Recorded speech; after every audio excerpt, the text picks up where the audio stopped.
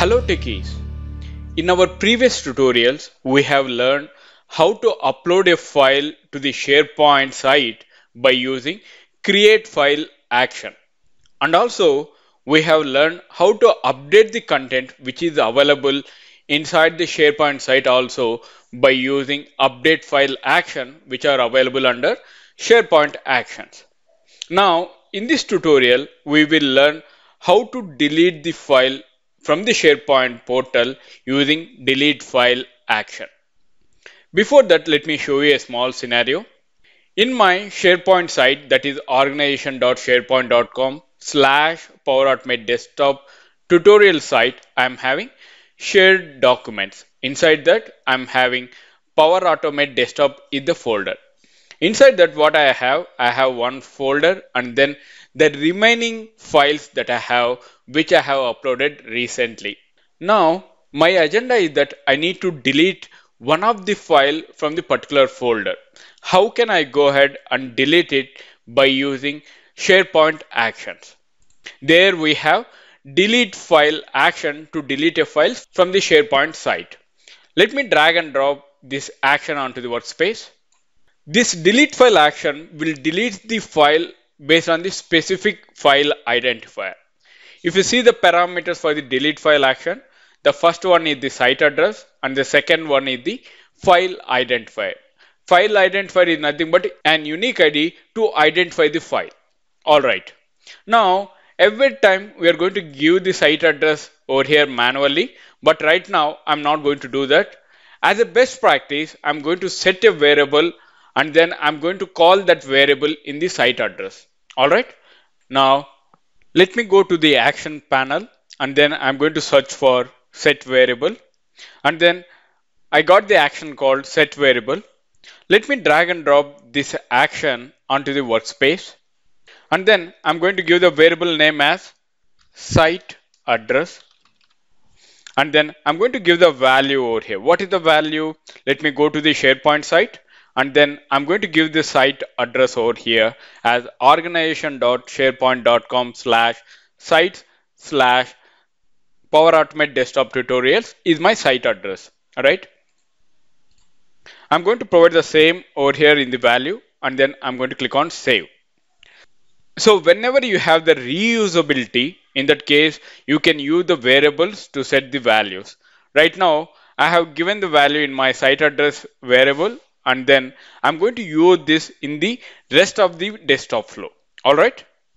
Now, once again, let me drag and drop delete file action onto the workspace. Now, over here, I'm going to give the site address. So site address already stored inside my variable that is site address. Right now I'm going to select the variable as site address and then the file identifier. This is the unique ID that what we have for the particular file to delete. Now how can we go ahead and give it? Now in our previous tutorials we have given whenever we required the path there we have given the path but wherever we require to update the file in that case we have given the file identifier that is the unique ID. Now how can we go ahead and get the file identifier? For the time being I'm going to click on save. Now anyhow we'll get the uh, error as parameter file identifier cannot be empty. Alright let me close this.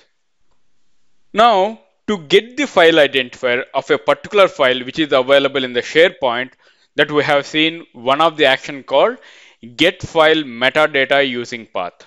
By using this get file metadata using path, we can get the collection of information about the file. In that information that we have the ID also that is file identifier. Let me drag and drop this get file metadata using path action onto the workspace before deleting file action. Let me drag and drop. Now I'm going to give the parameters for the get file metadata using path action. The first one is the site address site address where we have we are having already variable that is site address variable let me select that and then the path the path I will give it as shared documents slash pad slash what are the files we have. That is I want to delete one of the file which is with the name of regex.xlsx file. All right? Now the output will be stored inside my get file metadata by path response. That we have seen this action in our previous tutorials. All right, let me click on save. Now we will open the action delete file action to give the ID over there that is file identifier. Let's double click on that. Now over here as a file identifier I need to give the ID. From where this ID will come that is from get file metadata by path response right. I'm going to give the same over here. I'm going to select the variable. What is the output variable that we are having get file metadata by path response. I'm going to select that and then I'm going to take the ID over there. Now I'm going to select ID over here. So I need to pass it the ID file as a file identifier response. Let me click on save. Now if you see the errors got resolved. Now our entire desktop flow is ready.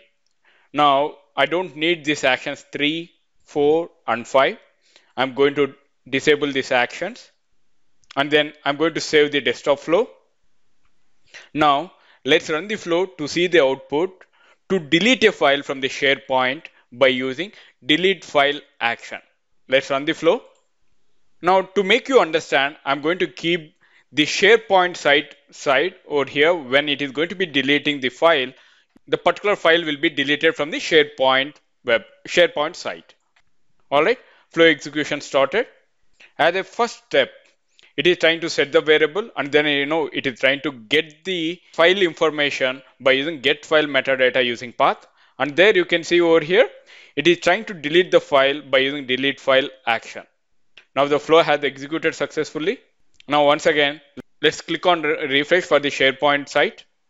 Now if you observe over here the particular file that is regex.xl file has deleted successfully by using delete file actions as part of the SharePoint actions. I hope you understand how to delete the file from the SharePoint folder by using delete file action.